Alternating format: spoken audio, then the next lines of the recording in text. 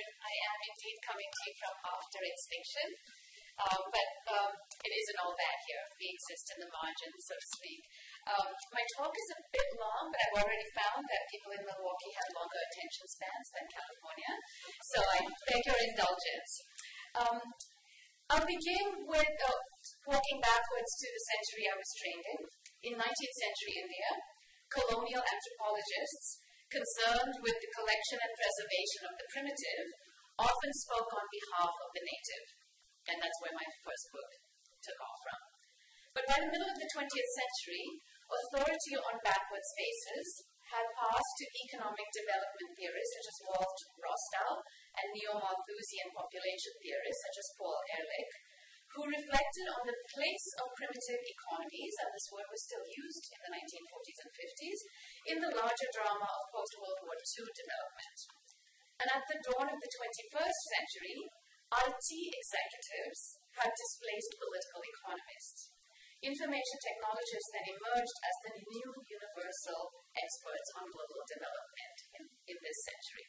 So I'll illustrate part of this historical map with a couple of well-known historical markers that might bring alive for you the chronological claims above, picking for the sake of time today just the last two. The Neo-Malthusian bioscience-based discourse of development articulated by Paul Ehrlich and the global techno-boosterism of Thomas Friedman will serve as sort of vignettes to remind us of this most recent transition. So in the larger project, which uh, Richard mentioned as part of a book, I tracked the mixtures, borrowings, practical consequences, and discursive overlaps among these historical trends. Now, each is usually told in a different discipline anthropology, does the anthropologist of the 19th century, development economics, does political economy, and technology studies, or its more practical cousin, ICT for D, does the last. Each of these histories has been well chronicled in its own disciplinary framework, and my aim is neither to summarize, adding them up cumulatively, nor to produce another chronology of transition that purportedly models something called the post colonial world. Rather, it is to make visible the seams and points of articulation among these discourses to show how each became thinkable only in terms of the other in a particular historical moment. Rather than modeling the post colonial world, the point is to ask why and how, historically, it has seemed necessary to model the spaces of decolonization through science, technology, and economics, and what policies became thinkable via these modeling practices. So in the larger argument, which is too long to set out in full, I argue that their strategic connections become usefully visible via four keywords piracy, development, jugaad, and leapfrog. And things that I will not cover today, then, which are in the larger work, the explication of the various ideological strands of pirate studies, from the NSA to anarchist resistance, the arcane but fascinating economic debates of the development decades, on which there exists actually a huge literature now increasingly considered obsolete. These are all basically the things I'm not talking about, but which I'd love to talk about um, in discussion. Um, but the following sections then draw from these uh, disparate, obsolete, and often hermetically isolated literatures and make claims that, in the interest of time today, will end rather schematically and telegraphically. Um, and when I conclude, I'll draw on new work on the political economy of development that questions the language of transition. Uh, although the normative forms we inherit from science, tech, and economics imply a temporal logic of transition, I've used that word myself already three times, I use the historiographic method that Premesh Lalu quite simply and elegantly calls the cut. Instead of a disciplinary account or assessment, I seek a way of tacking between and among the histories of colonial science and the futures of techno-scientific capitalism. I'll begin then for real via two striking representations of India in a 20th century developmentalist landscape. In 1968, Paul Ehrlich's population bomb electrified the development world and the general public with its dystopian visions of a future destroyed by an overbreeding third world. Ehrlich opened his narrative by juxtaposing an experiential story of his family's visit to New Delhi with a scientific plot of population against time, predicting an explosive situation at the dawn of the 21st century. Science and subjectivity had come together in the crucible of post colonial poverty. A red arrow in the middle points to the extrapolated population level in 2003. This is written in 68. And it exclaims, with two question marks at the end, carrying capacity reached. And this is a, a quote from his page one. I apologize, the red text was highlighted to emphasize it, but it's not very readable on the screen. So I'll read it to you. I have understood the population explosion intellectually for a long time. I came to understand it emotionally one stinking hot night in Delhi.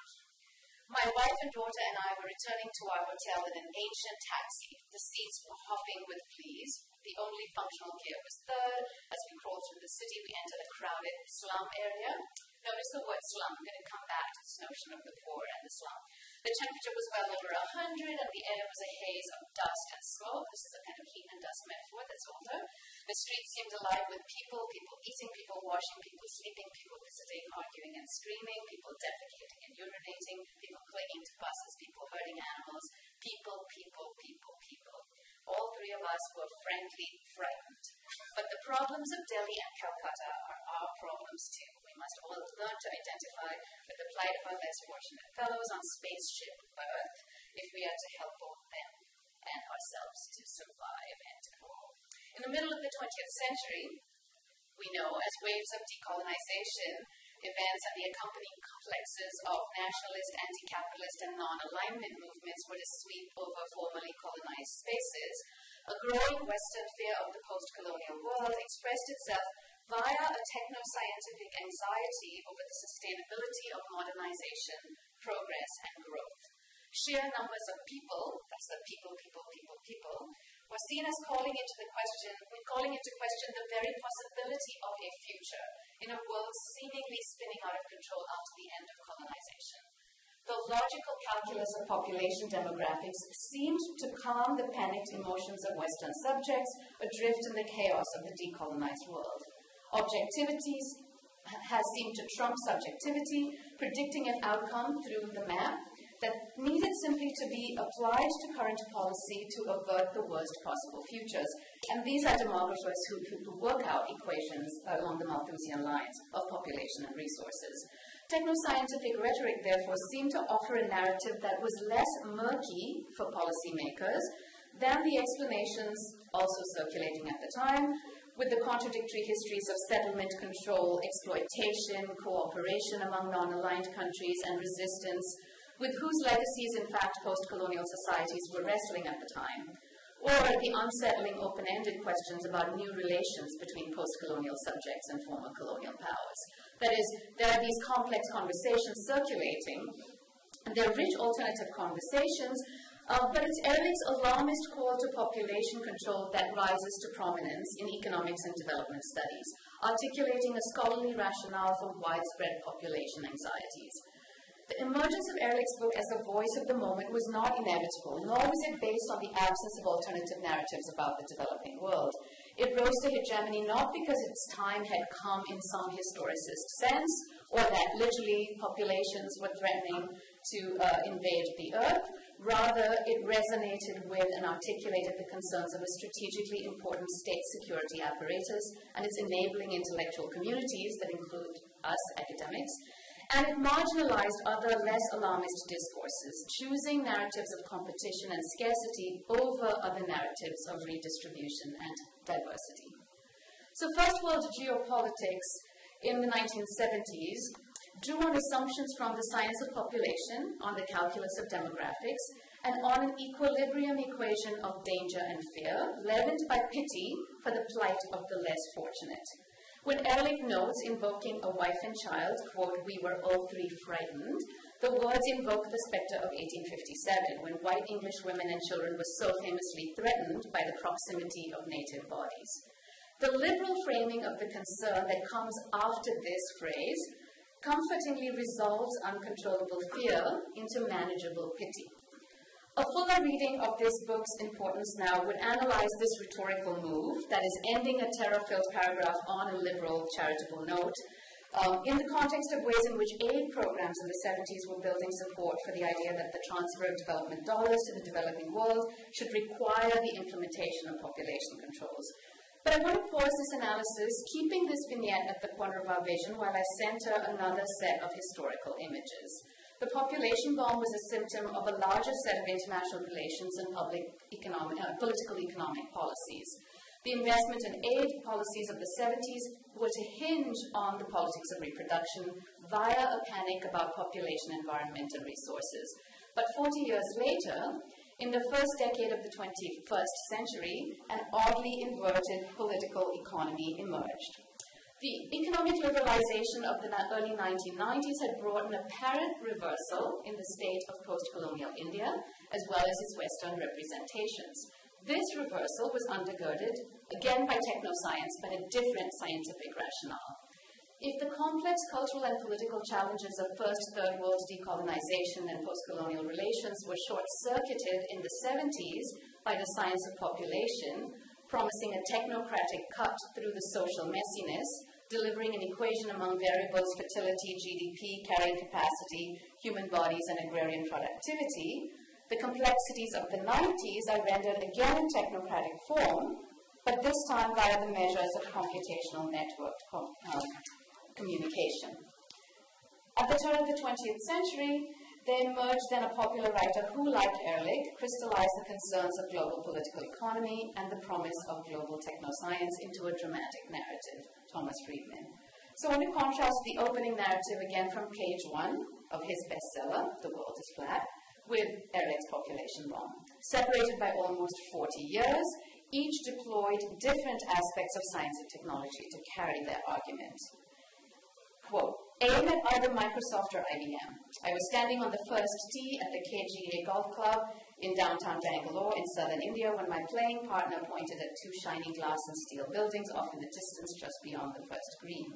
The Goldman Sachs building wasn't done yet. HP and Texas Instruments had their offices on the back nine along the 10th hole. The T markers were from Epson, the printer company, and one of our caddies was wearing a hat from 3M. Outside, some of the traffic signs were sponsored by Texas Instruments, and the Pizza Hut billboard on the way over showed a steaming pizza under the headline Gigabytes of Text. Columbus was searching for hardware, precious metals, silk, and spices, the sources of wealth in his day. I was searching for software, brain power, complex algorithms, knowledge workers, call centers, transmission protocols, breakthroughs in optical engineering, the sources of wealth in our day. Now, brand names undergird and punctuate the euphoria in Friedman's happy discovery narrative, where Ehrlich's fear-filled travel narratives had drawn literally on colonial tropes of heat and dust. Each of these above citations is from the first page of a best-selling book that deploys a particular techno-scientific narrative. Ehrlich and Friedman, both American writers in India, liberal social critics on casual visits, that is, um, sort of touristic, not with any historical or linguistic training, um, their best selling world shaping books with this touristic experience. So, why are these touristic images so compelling to their readership? And what accounts for the changes between 1968 and 2005 that make each book and its Indian framing so divergent? The world is flat, which is a phrase itself that Friedman borrows from his unnamed golf partner, makes the argument that changes in late 20th century global political economy, resulting largely from computational technology and its enabling supply chain systems, have created different kinds of citizens. Carefully scripted for consumption by a new kind of US based global actor, Friedman's narrative mixes classic colonial modes of representation, that is, for example, unnamed, faceless, multitudinous third world subjects threatening to take our share, shadowy mutant supply chains forming uh, terrorist networks, and contrast between good, hardworking, westernized natives and bad, violent, terrorist natives, Friedman as Columbus, and so on.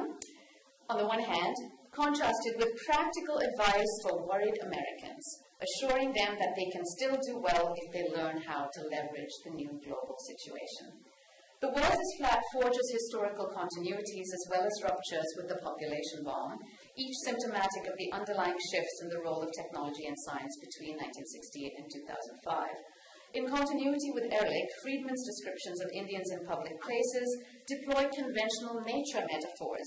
For example, um, in contrast to the swarming imagery Ehrlich deploys, Friedman favors a water image when he describes himself standing in the manicured corporate campus of Infosys, quote, observing this river of educated young people flowing in and out, end quote, although his, quote, mind kept telling him that the scene was simply a picture of the political economy of comparative advantage, his I kept telling him something else, quote, oh my God, there are just so many of them and they just keep coming wave after wave, end quote. Like Ehrlich, Friedman allows the reader a candid moment of insight into his own emotional panic. At the sight of waves of them, an older narrative of fear at the seemingly unstoppable, undifferentiated masses of the developing world seems to reassert itself. But these masses are educated rather than unwashed as they were 40 years later. Friedman observes that, quote, they all looked as if they had scored 1600 on their SATs. That is a perfect 800 on verbal and mathematical, putting them in all of, in the top 1% of test takers, echoing, of course, the model minority stereotype common in the US, in which Asians, through a combination of seemingly inherent mathematical ability, along with a seemingly inhuman ability to practice drills and rote learning, consistently seem to break the curve on aptitude tests. Friedman, like Ehrlich, allows us to follow him through this panic, subsequently coaching us into accepting a new version of the we are all on the same spaceship narrative. Population control was the soothing solution in the 70s, and reviving the creative classes, managing the global outsourcing economy through the savvy design and management of technology are the 21st century solution. If the latter sounds more complicated, that's because it is, and I'll get into that in a bit, but I just want you to keep these two senses of the rhetorical continuities. There are so many of them, and we all need to live in the same spaceship. That is, we all need to exchange globally in the same marketplace. That's going to be a link to the next section, which will in, initiate, rather than a close reading, as I've been trying here, a series of abrupt shifts that bring together the things that I'm hoping to link together for you. Uh, but just a, a couple more uh, minutes on Friedman um, and thinking of him with Ehrlich. So population control technologies had originated in Western research labs, and population theories were disseminated in the 70s by Western aid agencies. Later, they were taken up by developing nation states. So uh, it's important to recall, for example, the Indian state's marketing of birth control and the subsidizing of sterilization and abortion procedures, often pushed by the state in the 70s and 80s. Computer technology, on the other hand, was difficult to centralize in the hands of Western states and aid agencies.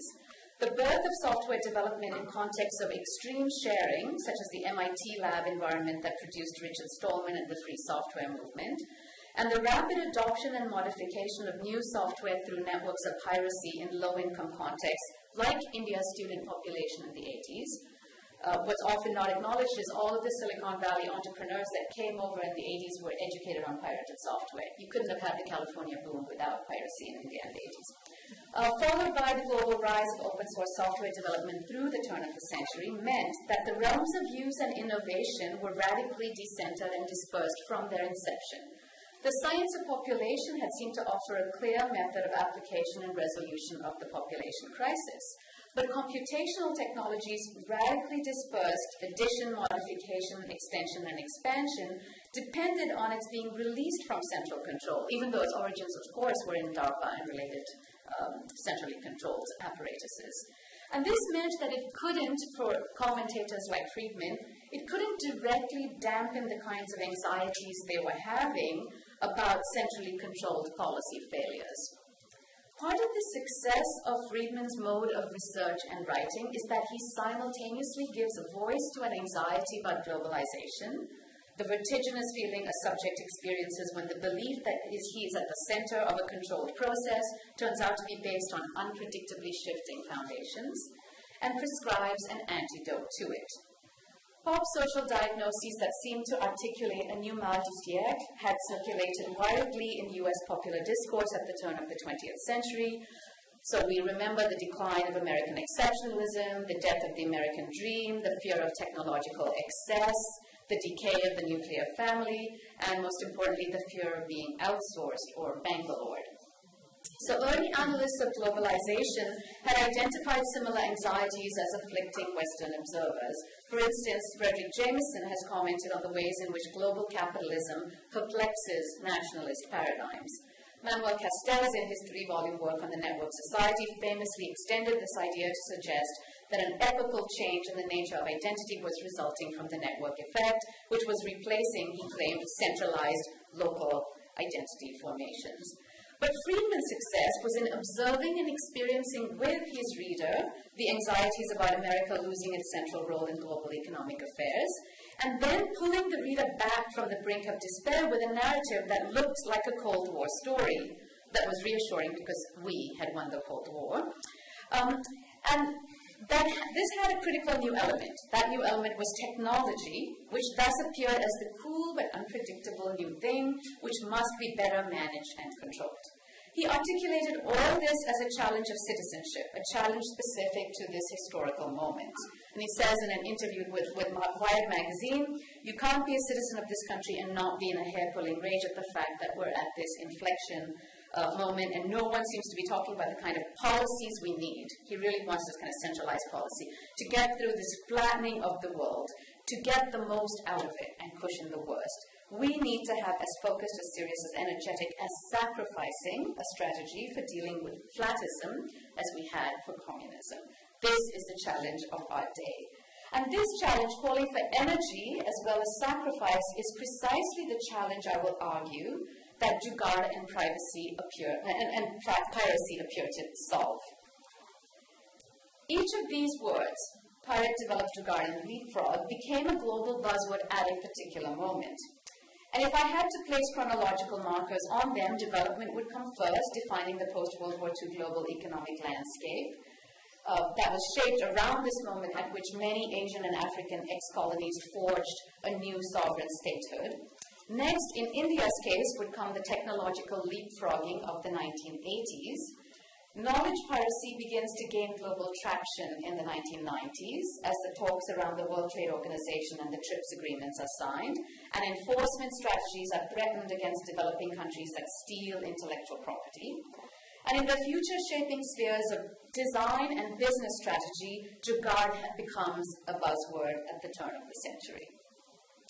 Let's take each one of these, and I'll become kind of more abrupt and staccato now in the ways that I deal with them. You all remember SOPA. Um, we all, this is the actual text of the bill, which I'll get into in a second. Um, these are the ways in which the protest went um, went global. This was, of course, the Reddit site gloating that um, that don't don't mess with Reddit. Uh, for those of you who follow this, Reddit kind of spearheaded and uh, and uh, managed a huge and very, very decentralized kind of um, resistance. This was the Pirate Bay press release.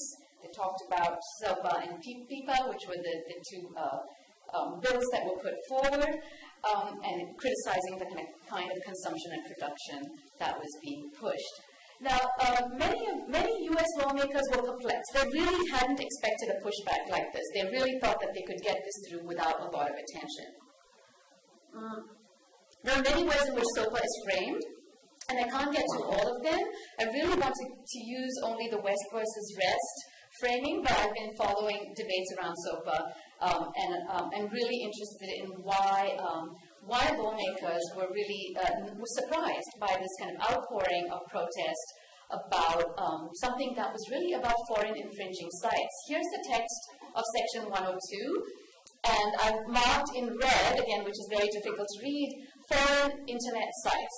This is really the definition of SOPA. For purposes of this section, a foreign internet site or portion is a foreign infringing site if, and these are the actions that you follow at the bottom, against a foreign infringing site or the foreign domain name.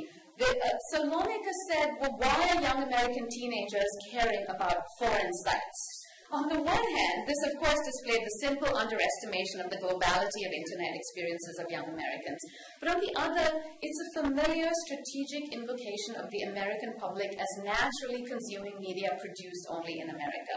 So it's the status of this foreign infringing site that I want to take up in my next example that will make one of my several historical anachronistic detours for today. This time I'm going to visit a classic episode in the prehistory of pirate studies. So the Madagascar pirates of the 1690s are very interesting. There's a strong connection in the development of this pirate community in Madagascar to Mughal India, which at this time is one of the richest empires in the world, the Mughal Empire, producing enormous amounts of gold, silver, silk, um, and other precious commodities in the global market at the time. Uh, there was also in the late 17th century the growing power of the East India Company in the Indian Ocean. Um, and I'll summarize what happens here. Um, and for the next four or five slides, I'm summarizing deliberately from very popular pirate historians who are not writing academic stories. So keep in mind, there's lots of critiques of popular history, but I'm going to simply summarize in the interest of time. In 1693, a North American privateer, and these, these were the names used for pirate ships when they flew under private flags, literally often sanctioned by states, captured a Mughal ship Again, one of the richest ships in the oceans at the time. It carried enormous amounts of luxury goods and in gold and silver, over 100,000 pounds sterling worth of, of actual bullion. Um, they docked in Madagascar, and pirates from all over what at the time was the center of piracy, Europe and North America. All of these European and North American white sea, seafaring men, and that's important to know what they were for what's coming next, poured into Madagascar. Um, now, North American merchants had supplied them with economic support. Uh, there were North American traders who would set up shop in Madagascar and they would exchange colonial North American products for the luxury items from the East that were captured through piracy. So the East is the wealthy area and the pirates are coming from North America. Now, colonial officials in America were illegally but knowingly allowing this material to enter their ports without customs inspection, and some of them actually were investing in pirate expeditions. There was a huge demand for ships for these pirate expeditions, and North American shipbuilders could barely meet the demand for these pirate trade vessels. Now, East India Company complaints began, and they drew the attention of the British government to the Madagascar pirates. Well, hang on. This is the East India Company petition that I want to get into. The company's problem was that since most of these pirates were English speaking white men, the Mughal government charged the East India Company and the British government with acting in collusion with the pirates. Now, of course, the East India Company found it particular gall, particularly galling that it was American colonial corruption that was facilitating these Madagascar pirates. The, this actually leads to a short-lived but very famous pirate paradise, and this is why I said there's a lot of popular pirate history that extols this, um, and I'll, I'll give you a few points as I summarize the two things I find interesting about this story. One is how it creates this outpouring of utopianism in, in histor- among historians, but second and more important for my purposes today is the threat to the state and law and order in unauthorized reproduction, not just the bullion and the, the wealth, but a certain kind of illegitimate copy circulating outside the reach of the state, but with claims on it. And for that, we need to get into the, the um, petition. Um, but let me tell you about why, why I'm interested in the Utopian Society story. These are all from popular pirate sites. And you have a lot of sort of pirate gender stuff, which extols women pirates, um, so I'll quote from Janice Thomson, which is again a popular book, Mercenaries, Pirates and Sovereigns. According to Janice Thomson, pirates were more loyal to each other than they were to their country of origin or to their religion or even to their own race. Quote, this is a quote, Irish Catholics and Protestant Scots worked along each other without friction. Notice again, this is a white brotherhood. And the Madagascar Commonwealth was famous for its particularly successful utopian societies. Um, and in effect, a series of contextual transnational community ties were forged that was supposedly stronger than individual nationalisms. Now, the most famous pirate haven on Madagascar was called Libertalia. This was called a pirate nation. The, mod, the motto was for God and liberty. And as a popular pirate historian, Cindy Vallar puts it, the pirates who called themselves freemen organized themselves into groups of 10 pirates each, and from each group they elected a representative to enact laws, etc. And she uh, even talks about a, a, rumored pirate socialist republic in Madagascar. Uh, one Madagascar captain is reported to have said, quote, they vilify us, the scoundrels, scoundrels so when there's only this difference, they rob the poor under cover of law, forsooth, and we plunder the rich under protection of our own courage, etc. And you've heard this kind of pirate discourse the class-based inversion of power relations, etc. But I want to get to the second point, although I've spent a lot of fun times exploring the first. but the petition, I actually would like to read this petition more closely. Um, this is the East India Company appealing to the British Parliament for the force of arms to be used against these pirates. I will expand some of this text so you can read it more clearly. This is just three paragraphs from the text. Um, so this is the request, um, and they say, why, okay, so why should you bring state force against these people? Why does it matter that there's these people settled in an island, right? And they say, well, upon a general peace, multitudes of soldiers and seamen will want employment, or, and this is the line that's important to me, over time, the pirates will generate with the women of the country. And this is non-white women, and this is where the, the fear of miscegenation is going to appear. Their numbers should be increased. They may form themselves into a settlement of robbers as prejudicial to trade as any on the coast of Africa. So, A, we have white men consorting with, with African women and numbers increasing of these miscegenated children. But that's not even the biggest problem. Let's get further. It's natural to consider, and this is a paragraph on citizenship and state claims, that all persons owe by instinct a love to the place of their birth. Now, these white pirates were born in Europe or North America, right? The present pirates must desire to return to their native country, England or America. And if this present generation, and I'm interested in the word generation, should be once extinct, their children will not have the same inclination to Madagascar as these have to England, and will not have any such affection for uh, England although they will retain the name of the English, literally they have their father's name.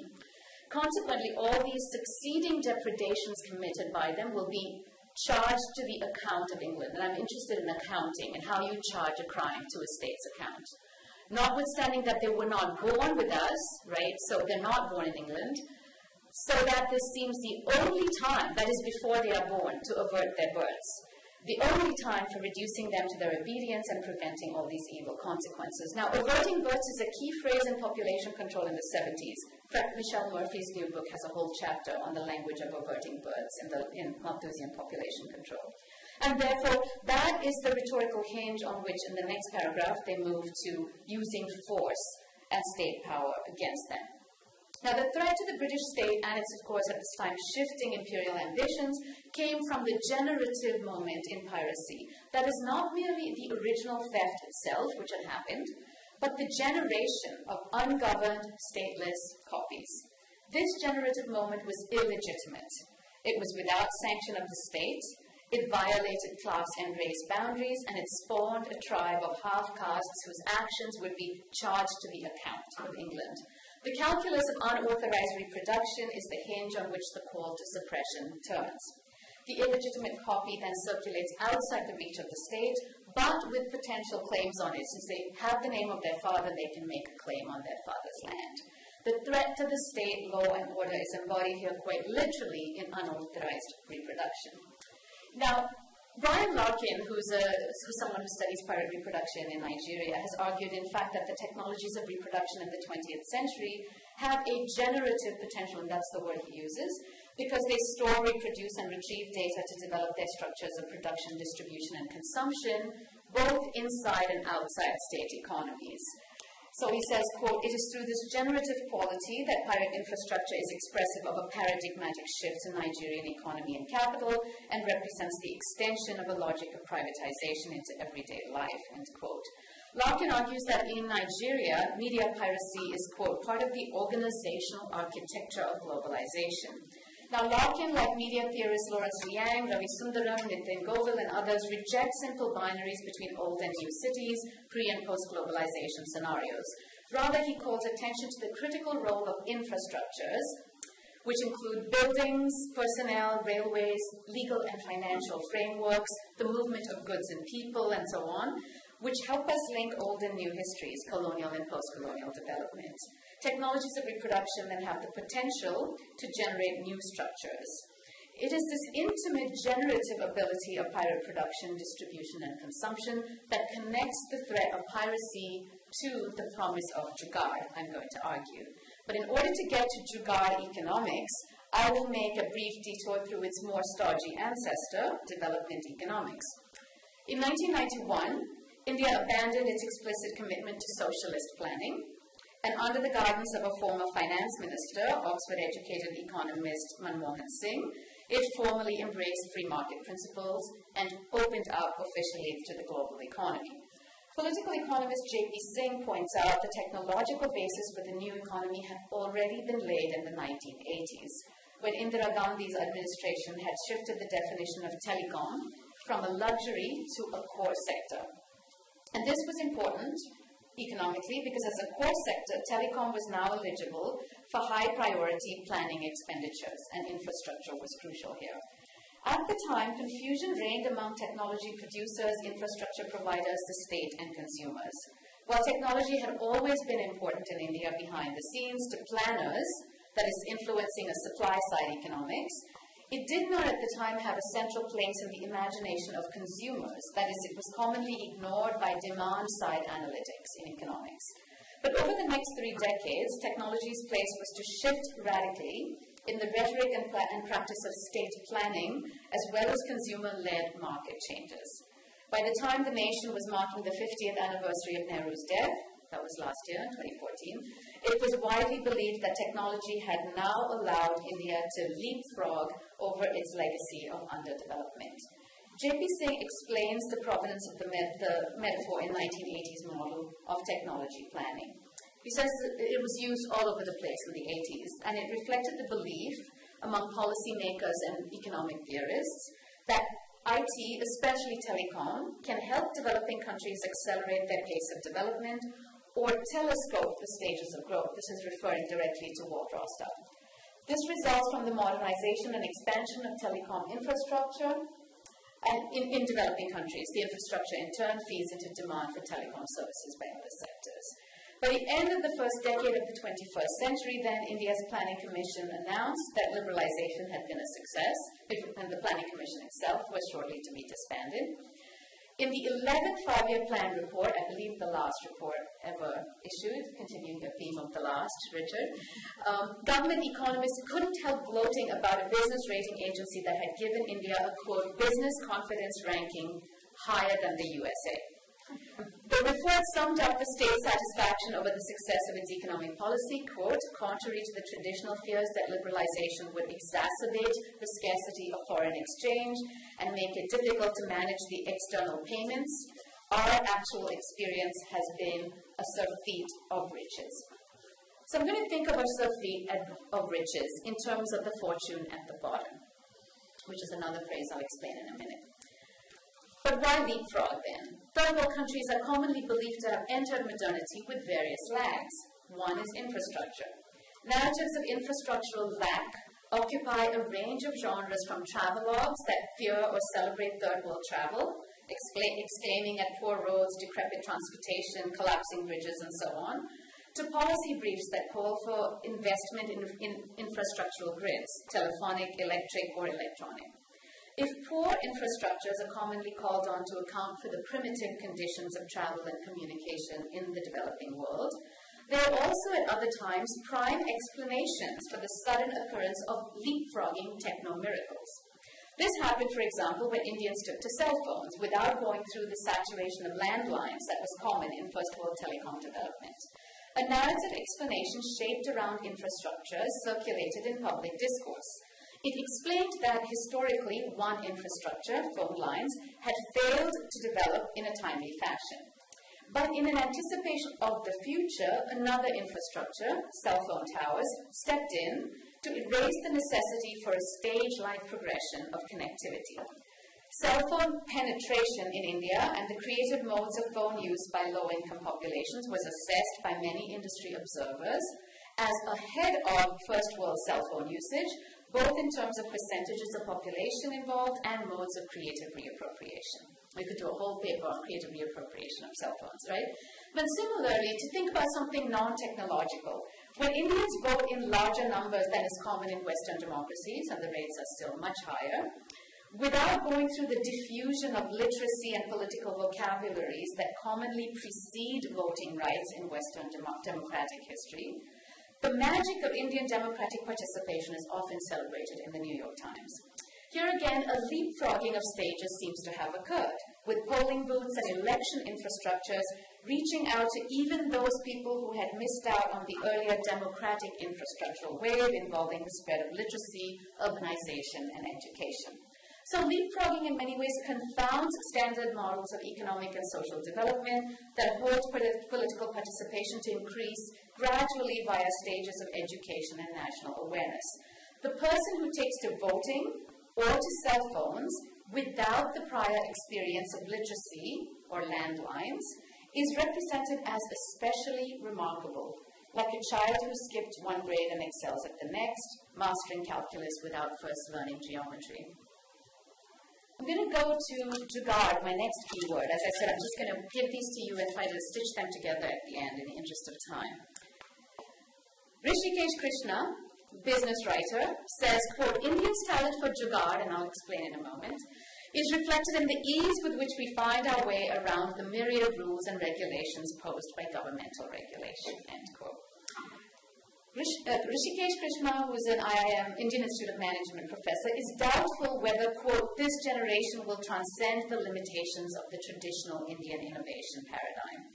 Envisioning a future India as it properly matures into economic liberalization, Krishna offers his book up as a blueprint for orderly and systematic progress in accordance with what he calls the scientific method.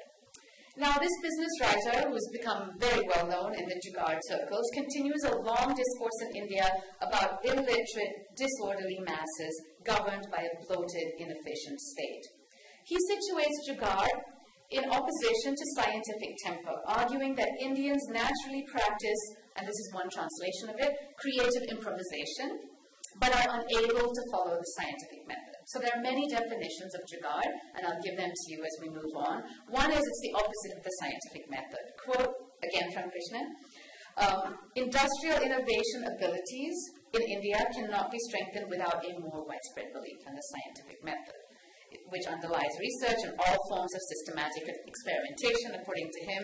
And he says, unfortunately, we are stuck in this old, unscientific form of innovation, often labeled as jugaad. Now, in contrast, a glowing article in Places, the Berkeley based Journal of Design and Urbanism, by the way, this is all the praise that Krishna's book got. But this is Adelheid Fischer, who effuses Jugaad, the Indian practice of, this is another definition, doing more with less, making do is sometimes a translation, could help frame a global philosophy for sustainable design and innovation. Fischer, like the artists and architects he cites, sees not only a business opportunity here, but a model for the survival of a species threatened by scarcity and extinctions. Indian Jugaad, he says, can help produce subjects who can train the next generation in the art of Jugaad. The capacity to live frugally yet richly, and here's an, yet another translation, in the coming age of limits. And uh, this is a film made, it's, it's huge, and the art circuit, you can go to art exhibits on Jugaad and so on. Um, now, let's think about Jugaad and piracy then in the age of the bottom billion. In research first published in 1998 and reissued in 2002 as a now famous paper, The Fortune at the Bottom of the Pyramid, business strategist C.K. Prahalad wrote, quote, collectively, we have only begun to scratch the surface of what is the biggest potential market opportunity in the history of commerce. In a very real sense, the fortune at the bottom of the pyramid represents the loftiest of our global goals, end quote. Um, and this was published, note, by Booz Allen Hamilton, the consultancy. Now, anthropologist Julia Elyachar has observed how this emerged as part of a late 20th century historical shift. After World War II and through the development era of the 70s and 80s, the poor in the former colonial world were objects of economic intervention. In order to be made proper consumers, states at that time needed to care and feed the most destitute among them and educate, uplift, and improve, these are 19th century terms, the poverty stricken masses so that they could become consumers and citizens. But by the end of the 1990s, the poor had been tra- transformed from potential consumers to potential producers, from objects of development to subjects of the future, from a drain on developing economies to the promise of regeneration for capitalists everywhere. State intervention now worked along with corporate initiatives and grassroots organizations. Elyachar sums up the transformation of the figure of the third world poor. Quote, they were not a group, oh, sorry, I don't have a quote. I'm going to read it to you. They were not a group of disadvantaged citizens of former colonies in need of aid. They were a potential source of innovation and profits. End quote. So the string of stories that reached us through the turn of the century, Hernando Soto and his scheme for property relations in Latin America, the Grameen Bank and microlending in South Asia, mobile banking in Kenya, all these are symptoms of this emerging bottom billion. Elyachar's background includes old-fashioned political economy and economic anthropological fieldwork in Cairo, but I'm interested in how she's articulating them quite independently the same thesis propounded by Bengali political economist Kalyan Sanyal. And this is a very long quote. I apologize, but his historical account is worth summarizing in the interest of time. Throughout the 70s and 80s, he says, the prevalent image of the informal sector within the development agencies was one of last resort for those who failed to find, notice the emphasis on failure in the 70s and 80s, failed to find a, a place in the formal or modern sector, of the space of the poorest of the poor who needed help. The view, th- this view, which was called by economists the miserablist approach, was certainly consonant with the then prevailing idea of governmentality that sought to ameliorate poverty by redistributing income to satisfy basic needs. Remember, these were still redistributive states in the post colonial world at the time. But this negative vision changed in the late 1990s. Instead of describing it in terms of deficiency and lack, international organizations, as a counter to the miserablist image, began to paint the sector as one with inherent creativity and ingeniousness. And he quotes a recent ILO study. Uh, quote, the informal sector, this was in 2001, now stands as a potential provider of in, uh, employment and income to millions of people who would otherwise lack the means of survival, or as, quote, a breeding ground for entrepreneurship on a mass scale. And Kalyan Sanyal says, in sum, the discourse constituted the informal sector as an economic entity to implant it within the framework of development. So Sanyal argues this in a 2007 book, and it's based on decades of empirical studies of India's agrarian economy.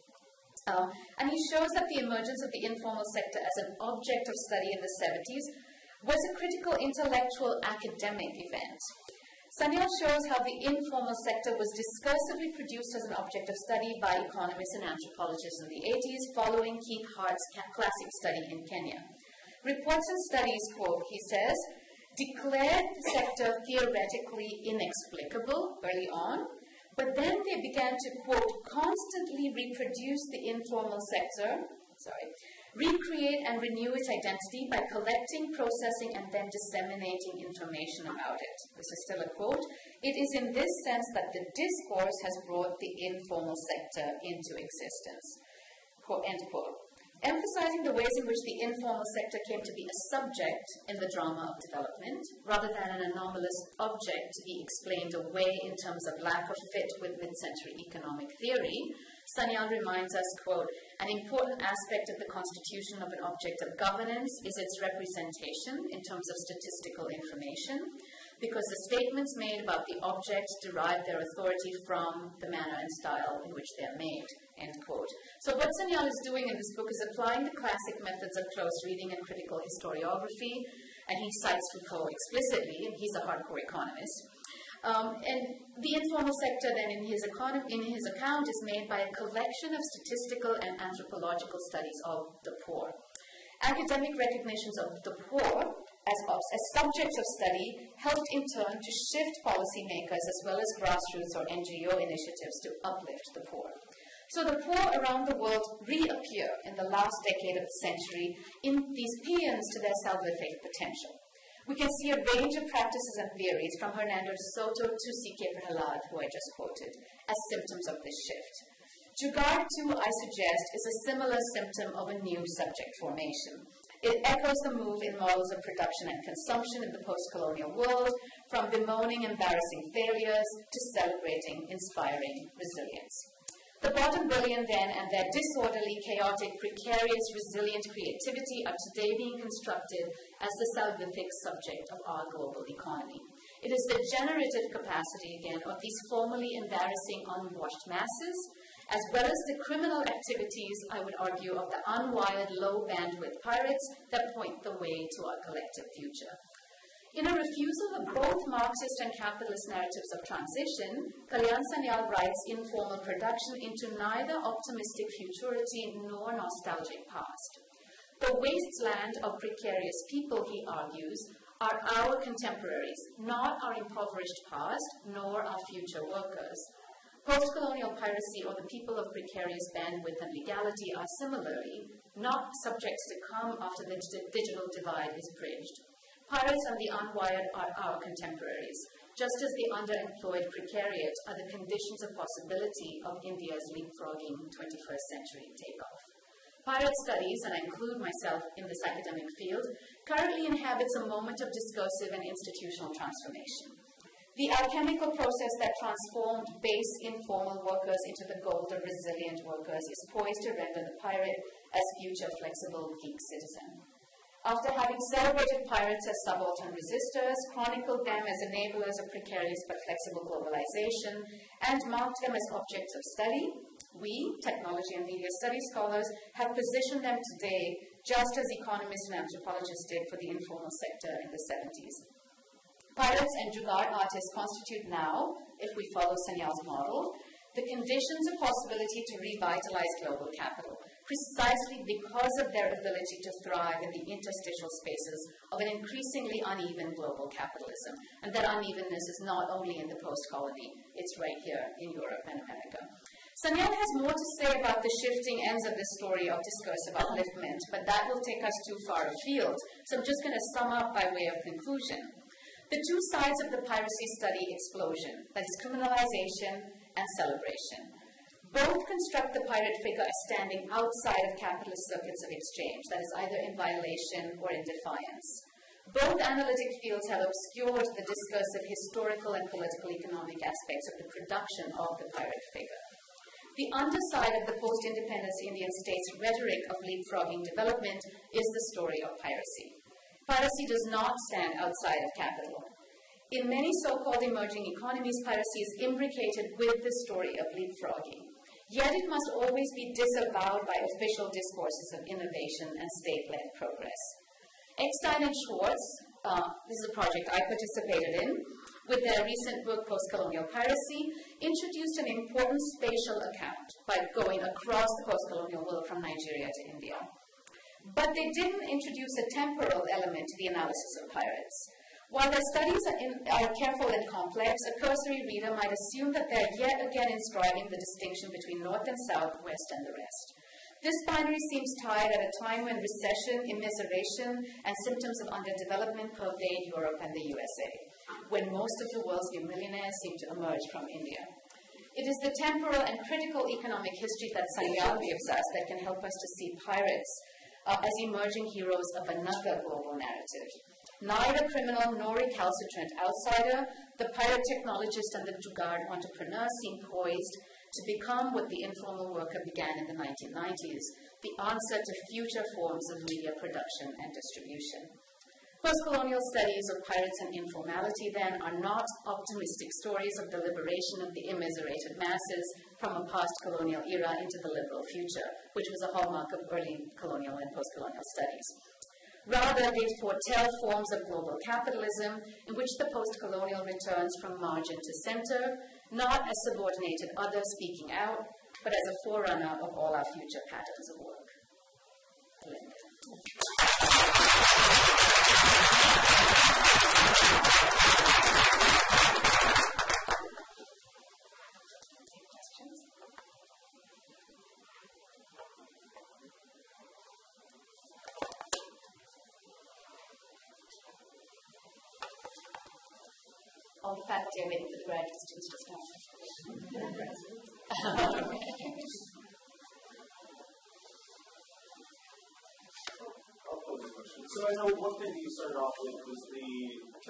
This in terms of technological progress. So it's typically seen as an evolution or something that is in transition, but you're also mentioning the idea of the cut.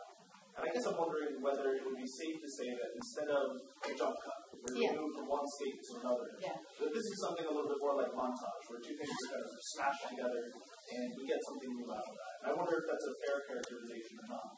Yeah, it's a great question. It's one of method and it's sort of underlying the story and I didn't sort of bring into the foreground. Um, so here's what I find fascinating about reading the political economic literature, right? So the, uh, Rostow was in the background of this. I didn't actually cite him, but he writes the stages of growth as the model for post-colonial, post-colonial use as a historical sense, post-1940s uh, development, right? And, and Marxists are also using the language of transition because to, to move from the colonial to a global capitalist and in a Marxist system beyond that to socialist, you have to go through these transitions, right? Now, what Sanyal tells us is there is no transition. That we're not talking about a transition, but we're talking about, and to use the technical term, a reintroduction of primitive accumulation. And now we really need to get into Marx to understand this. In Marx, primitive accumulation happens in the prehistory of capital. You rip the peasant from his land, you know, you sort of, this is primitive accumulation. You literally take the land, the means of production from the peasant. And now once you've got it, you can go through endless stages of capital.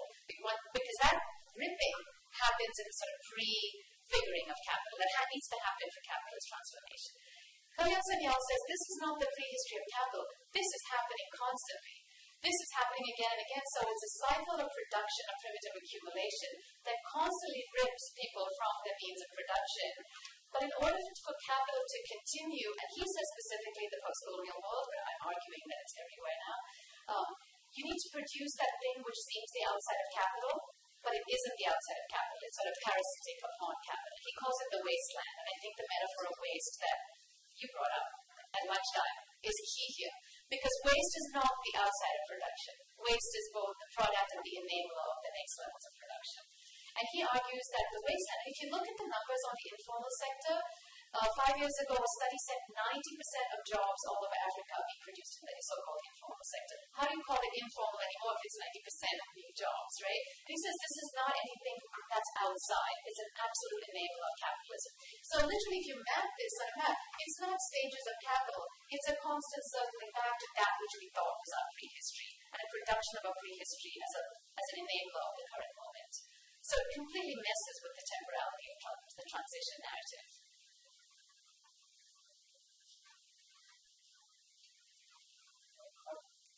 I was thinking about the example of the, the Indian use of cell phones in the club, and there's a word that used that they're using the cell phones without the literacy, some about literacy. And literacy, literacy for me is an interesting concept because of, uh, I study video games and people who mod video games.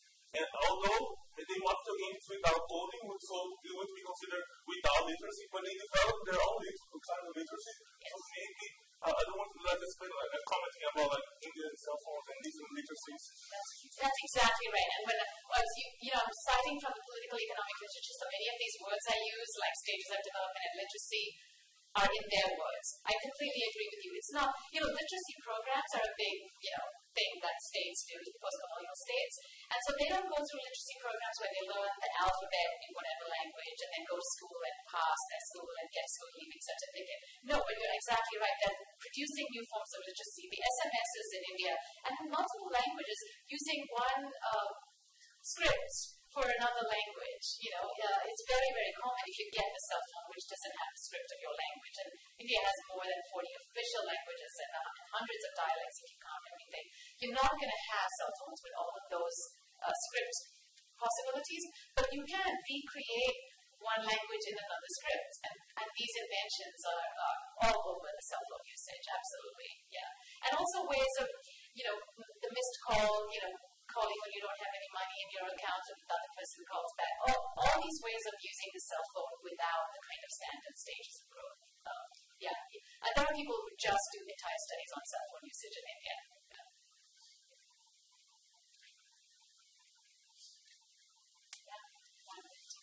I'm struggling a little bit to articulate what I'm thinking here, so I apologize in advance for that. Um, but it occurred to me um, comparing sort of the first and final phases of the talk that a lot of the language being being used to describe this new informal culture moving out of it into something that's central. It sounded a lot like another feel good story about, okay, this is how uh, these people are going to become part of labor as it's traditionally understood by the West, and everything's going to be fine because really they just want to work on things, and now we're going to stop pretending that they don't, and, and everything will be happy.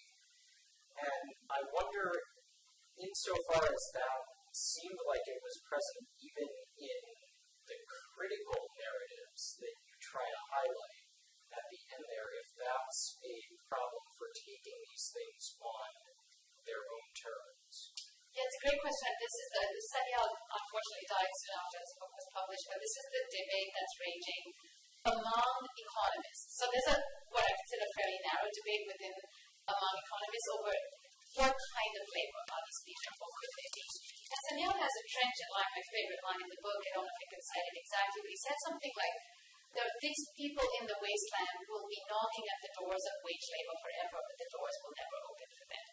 And he's actually arguing that they will never become wage labor in the classic Marxist sense. And this is more than just the reserve army of labor argument that's been made in Marxist studies. He actually says capitalists need to have them in the state in which charity can sometimes be handed out just so they don't descend into complete starvation and then revolution. Or, or you know, there are sort of micro entrepreneurial loans. That's why I cited the Grameen Bank and micro entrepreneurship. We do all these things to maintain just enough flowing down to them from the mainstream capitalist economy and just enough flowing back from them that we're getting really, really cheap labor and products from them.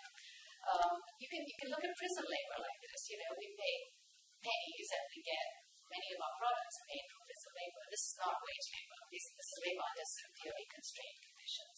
So I think uh, you're right that many of the earlier pieces that I cited critically are talking about how to manage the transition from colonialism to post-colonialism, by taking this excess population and working them into a capitalist system that knows how to control labor. Um, there is this problem that's been talked about a lot in Marxist economics about what happens when there are just too many people for capitalism to absorb. And if you look at the 18th and 19th century, theorists are saying, well, you send them abroad. The, the work of imperialism is done by some of the excess population, the soldiers who go off in imperial armies, also, the Malthusians will tell you a lot of the excess population was killed by epidemics, wars, famine, and so on. Right? And this is this is explicitly theorized in the 18th and 19th centuries. When you get to the 20th, you can no longer kill people off like that. You have no more imperial armies, although the mercenary story is interesting. So this is the excess population that economists are concerned with. And your question about wage labor is key to that debate.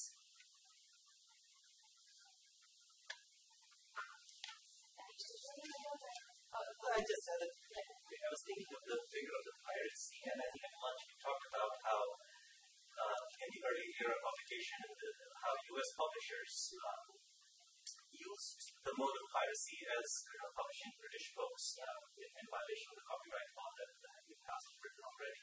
So there was a resistance from even within the within the haves uh, against formal reason or, or formal rationality of this kind of you know, uh, market economics. And then you also have the figure of the pirate jugaad uh, person who is on in the mode of survival. In, in some some ways, that resistance is in the mode of survival. So it's one in the mode of kind of accumulation, the other in the mode of survival. How do we bring those two modes together in, the figure of the pirate? Yeah, that's a great question. And again, this is uh, these are almost exact terms that Sanyal uses. He calls it the accumulation economy, and that's the mainstream capitalist economy. And then the other he calls the wasteland, which you're talking calling the survival economy. And he actually says, uh, and this is what Lawrence Liang says about pirates, that pirates are doing this to survive. You know, and he calls them low bandwidth producers as opposed to pirates. He said, look, these, these are not the hackers who have high speed internet lines in the door who are downloading. These are people with very low bandwidth, and that's why, for instance, cassette tapes in Nigeria and things like that that Larkin writes about are key. Of taking it off the digital infrastructure, maybe at one location, and then transferring it through non-digital means. You know, so it's a very it's a, it's a hybrid process. And um, I, I, hesitate to push the survival too much. And Sanyal also says, let's look at these people. It's not only subsistence economy that they're doing. They're often petty producers. They're often going to markets in urban peripheries. And there's something about this economy that's semi-accumulation and semi-subsistence. Because we don't, we no longer have pure subsistence in most places.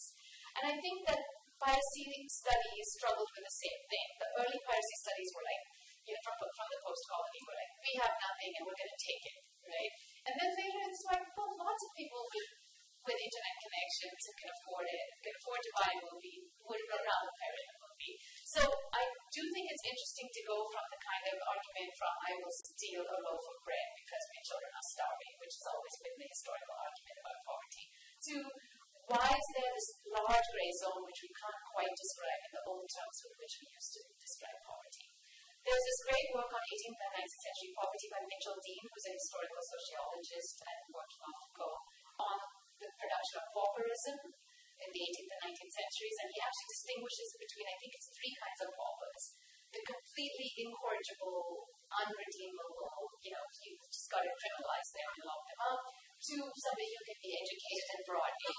And I do think there's like some parents are, some hackers are hired by the FBI and they're reformed, right? We know those stories. Some hackers are threatened, Aaron Swartz is threatened a lawsuit and he kills himself. So I think we have this spectrum. And yeah, if this was to be a legal project, I would look at the sort of spectrum and be able to map exactly the kind of accumulation to survive the story. I think there's an interesting map that you could do there.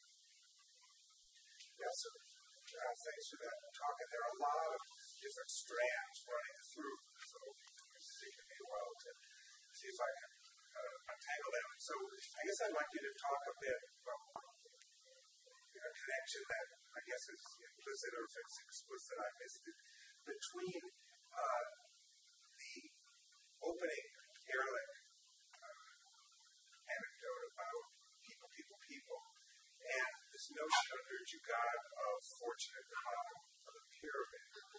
And initially, you know, the contrast, which I think is just really wonderful between, know, Ehrlich and Friedman uh, in these two touristic moments, um, I think that really sets it up. But fortune at the bottom pyramid isn't really Friedman's understanding. Is I mean, he's a whole different anxiety.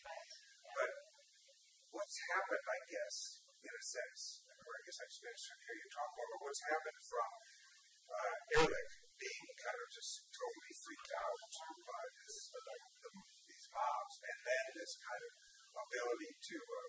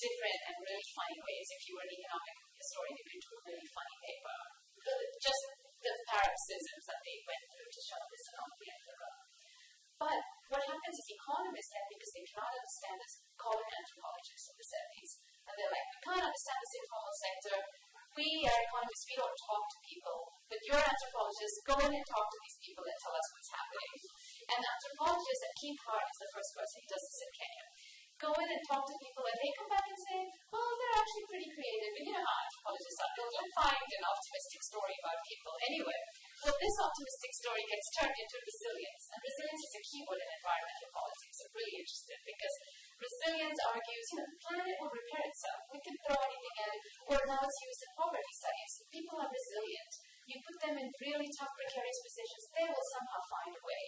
Yeah, so, so there are these peanuts to slums India. They're just so miserable, but that's where things are created. So that's what happens to the poor between Ehrlich and Friedman. But Friedman doesn't know because by then he's a superstar, he's writing op-eds, and I don't think he's reading the political economy literature. He's not even reading the business strategists by then.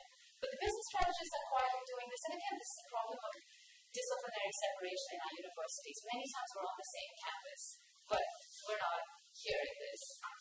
So is Ehrlich's project not then informed by a kind of capitalist motivation?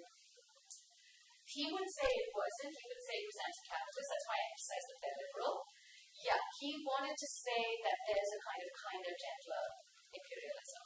Yeah, and you know, demography as an academic uh, field was constituted by that. Oh, demographers really thought that they were doing good things for the third world.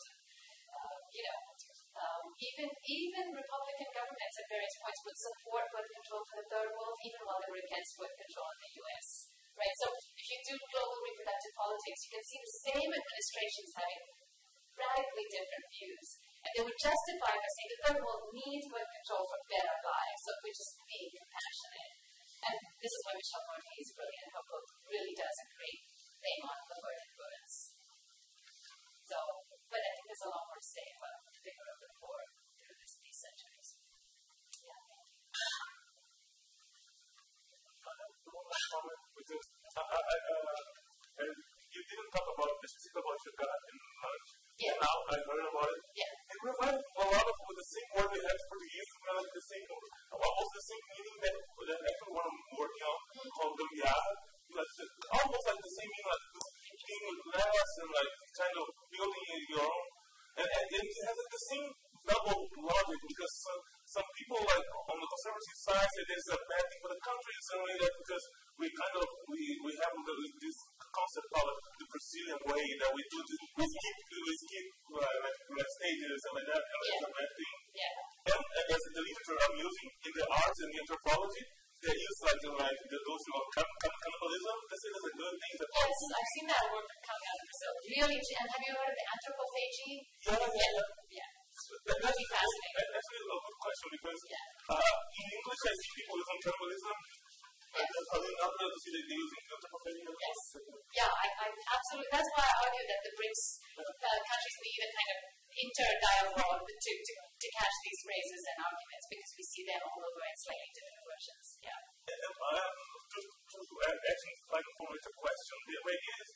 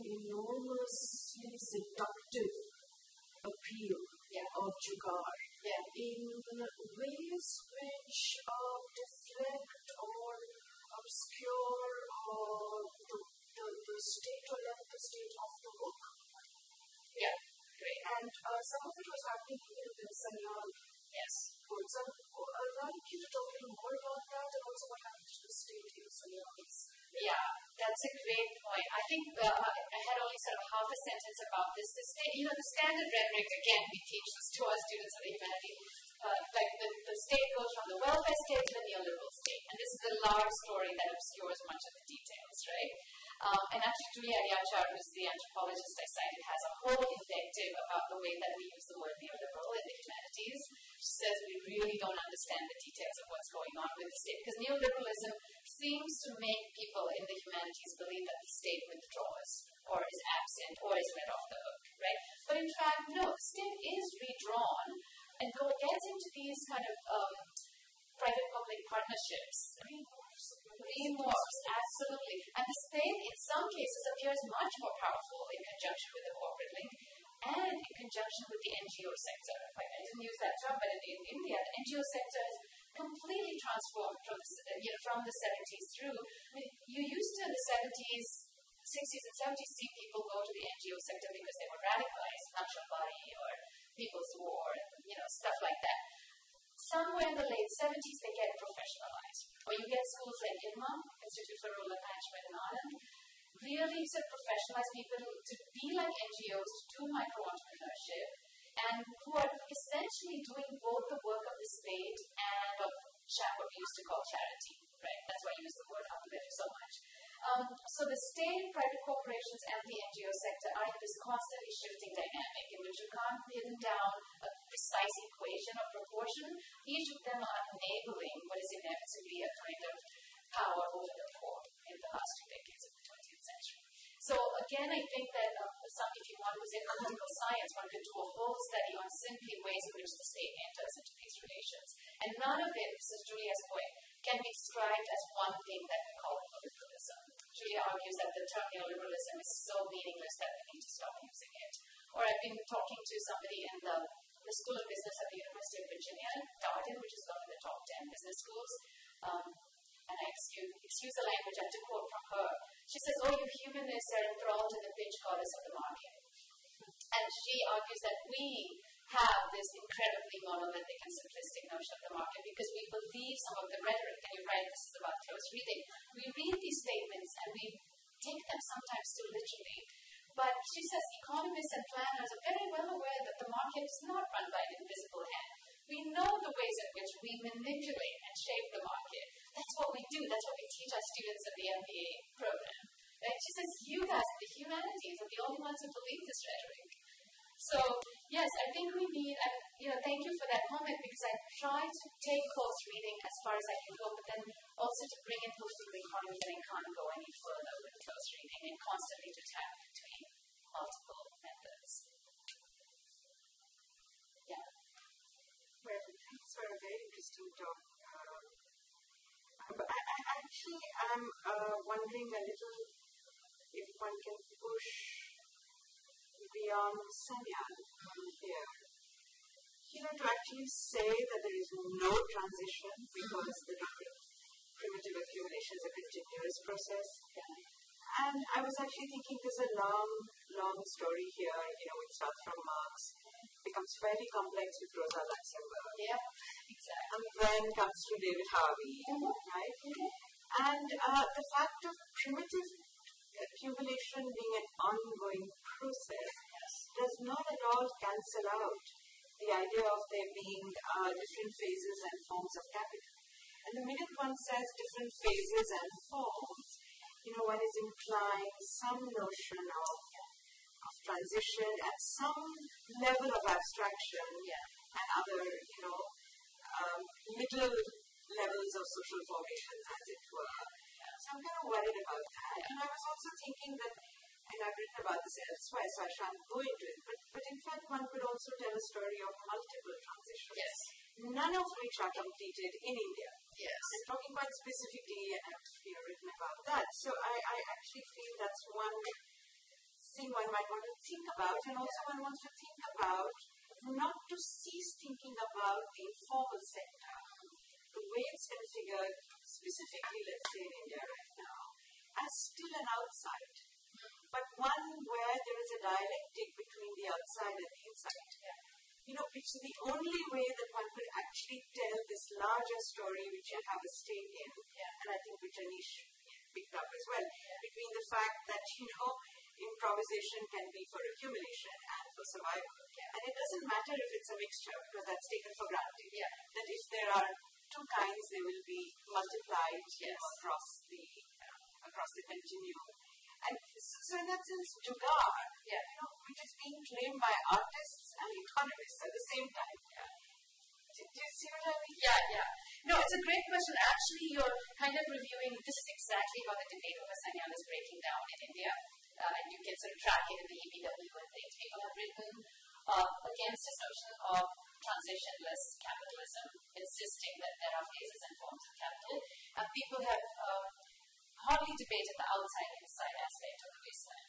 Right? And this is why I said unfortunately he died right after the book was published, and I think he really would have wanted to, you know, modify. But this is very much like, I mean, if you remember Kuhn, when Kuhn published the Structure of Scientific Revolution, all the debate is over whether extraordinary science actually happens in this kind of paradigm shifting way that he said in terms of revolutions in science, or whether science constantly has revolutions every other day that are never reported. You're constantly sort of pushing extraordinary science against normal science. And so there were endless debates over, because he said paradigms come once in a hundred years. I mean, he had the Newtonian paradigm shift and then Einstein, you know. Uh, so he, he, his revolutions were very rare, right? And other people said, what if it's all over the place? And to some extent, I do think, although I follow those debates with great fascination, I think it's sort of, it comes down to semantic differences in how we define transition. If transition is a phase, or if transition is a historical periodization. And this is the same debate we have in history. How do you periodize the Renaissance and the shift to the Enlightenment? And Foucault even uses completely different terms, classical and modern, instead of Renaissance and Enlightenment. Um, I, am not sure that I can resolve it for sure because I, all of the debates I've read pushing them end up with a semantic difference over the meaning of the term transition. I love your sense of the dialectic inside outside aspect of the wasteland, but I think that's exactly what Sanyal is saying in his description of the wasteland. Let me cite a couple more things. I completely agree with the line through Luxemburg, Lenin also, and Harvey. Um, Partha Chatterjee picks this up when he cites Sanyal in a footnote in one of his recent pieces. Uh, somebody called Patrick Neveling, who's a Swiss anthropologist, picks up Sanyal, but none of them go near this transition question because it's so arcane and almost unresolvable. But there's a couple of other things that have really helped me in reading. One is Julia Elyachar and Sanyal didn't know each other at all, and Julia is making a very similar argument about there's no transition to neoliberalism is her version, right?